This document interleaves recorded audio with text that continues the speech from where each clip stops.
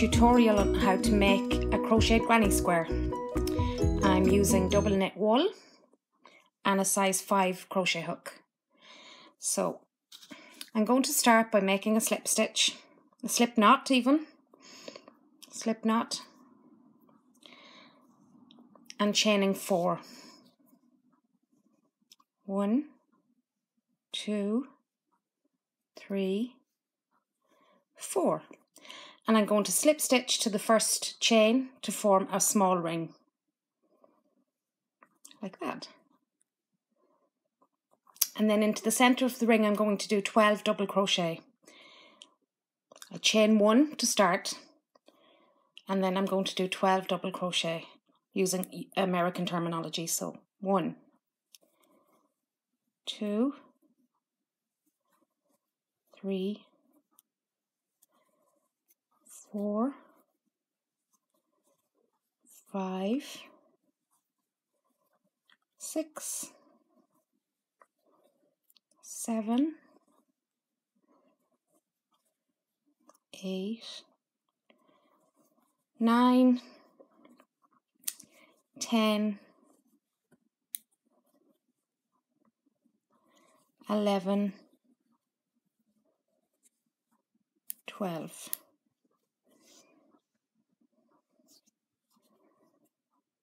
I'm going to slip stitch to the top of the first double crochet. And so your first round will look like this. Now for my second round, I'm going to chain one and I'm going to do two double crochet into the same space as the chain one. So that would be right there. One, two.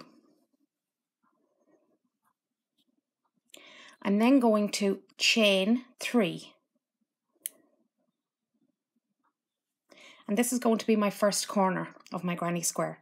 And into the same space as the two double crochet, I'm going to do another two double crochet. One, two. It might not look like it, but that's your first corner. I am then going to chain one, and I'm going to skip across two double crochet. And into the third double crochet across I'm going to do two double crochet. One two. For my second corner I'm going to chain three. One two three. And I'm going to do two double crochet back into the same space one, two. And so now you have two corners. I'm then going to chain one. And I'm going to skip across two, two double crochets. And into the third double crochet I'm going to do two double crochet.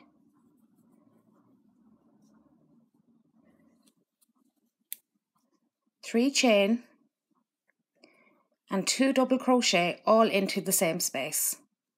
One, two, and that's your third corner done. I am then going to chain one. I'm going to skip two and into the third chain, third double crochet here. I'm going to do the same again, two double crochet, three chain, two double crochet, all into the same space. Two double crochet, one, two, three, chain, two double crochet, one, two, I'm going to chain one. And I'm going to slip stitch into the top of the very first double crochet of this round. And that is the second round of your granny square. Now, I'm going to slip stitch across to the first corner. So I'm just going to slip stitch through these stitches. I'm going to chain one and I'm going to do exactly the same thing again. So two double crochet, three chain, and two double crochet all in to the same corner, the same space. And you now have your first corner of your third round. So after you've done that, you chain one and into the space in the middle, you do two double crochet. Two double crochet. You then chain one and into the second corner, you're going to repeat the pattern of two double crochet, three chain and two double crochet.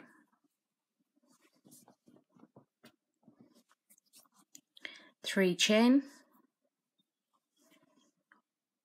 and two double crochet. One, two. Again, chain one. The chain one is to go across the double crochets. And into the center, do two double crochets. Chain one and into your third and into your third corner, you're going to repeat the pattern again. Two double crochet, three chain, two double crochet, and you always do one chain across to the next gap. And in the middle, I'm going to do two double crochet. You can always do three if you wish, but I just do two.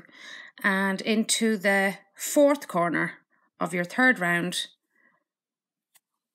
two double crochet, chain three, and two double crochet. Chain one and into your last gap of this round two double crochet. Of course I'm using American terminology. And one chain and you're going to slip stitch into the top of the very first double crochet of that round. And you now are on to your fourth round and it basically, you're just repeating the pattern the whole way around. So I'm just going to start the beginning of this one to show you. And again, what I do is I slip stitch to the first corner and I repeat the same pattern. Chain one, two double crochet, chain three, two double crochet, chain one. And on this round you're going to have two gaps. So you chain one between each gap and you do two double crochet into each gap. So I've chained one. I'm going to do two double crochet oops, into the first gap. I'm going to chain one. I'm going to do two double crochet into the next gap. Chain one and I'm on to my second corner which I do two double crochet three chain two double crochet and you just keep going round and round.